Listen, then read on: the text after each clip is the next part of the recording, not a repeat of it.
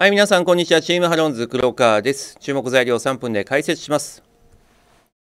はい、10月28日21時30分にアメリカ総務省から9月個人所得消費支出統計が発表されます。足元利上げペース鈍化の観測記事が出るなど FRB の金融政策をめぐる見通しに不透明感が漂い、ドルが調整局面を迎えております。ただ FRB は各会合での利上げ幅はデータ次第との方針を示しており、利上げが落ち着くかはまさにデータ次第と言えます。では早速見ていきましょ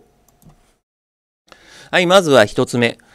8月の個人消費支出は前月比0.4%増とインフレ状態の中、個人消費は拡大し、消費意欲の底堅さが伺えました。ただ、個人所得の伸びが頭打ちになっているため、消費拡大に勢いがあるか微妙なところということです。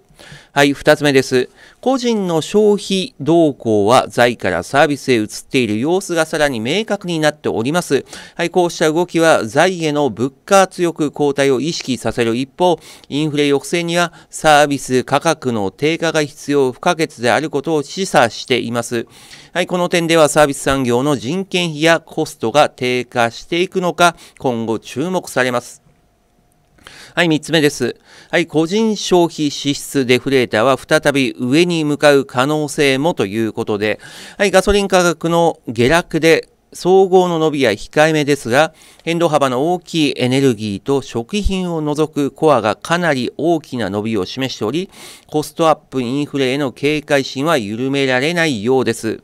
はい、10月13日に発表された消費者物価指数もインフレ高止まり、インフレの高止まりが懸念される結果となりました。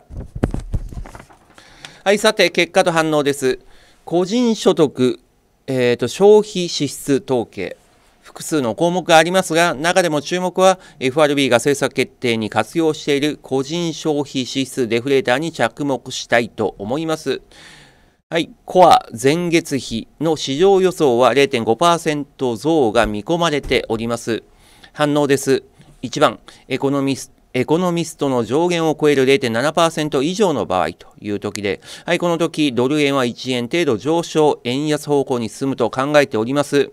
2番目です。0.5%から0.6%という時で、はい、この場合はインフレ圧力の後退は限定的との見方から50銭程度上昇と考えております。3番目。はい、0.3%から0.4%以下の場合という時で、はい、この時はインフレのピークアウト期待から50銭程度下落、円高方向に進むと考えております。はい、最後4番目です。前月の0.2%以下の場合という時で、はい、この時は FRB の利上げペース鈍化観測を後押しする格好から1円程度下落、円高方向に進むと見ております。はい、チームハロンズとしましては、所得の伸びが限定されており、消費の過熱感は限定されているものの、価格転嫁による商品サービス価格上昇傾向が続いているとの見方から、2番をメインシナリオと考えております。はい、ご案内しました通り、28日21時30分から9月アメリカ個人個人所得消費支出統計が発表されます。はい、21時開始のライブ配信番組内で21時30分、の、えーと、9月アメリカ個人所得消費支出統計の結果と市場の反応をリアルタイムでご紹介させていただきます。またリアル講座で結果を受け出すキャル取引も行う予定となっております。開催 URL につきましては番組最後に貼り付けてあります。お時間がありましたらご視聴の方よろしくお願いいたします。本日は以上となります。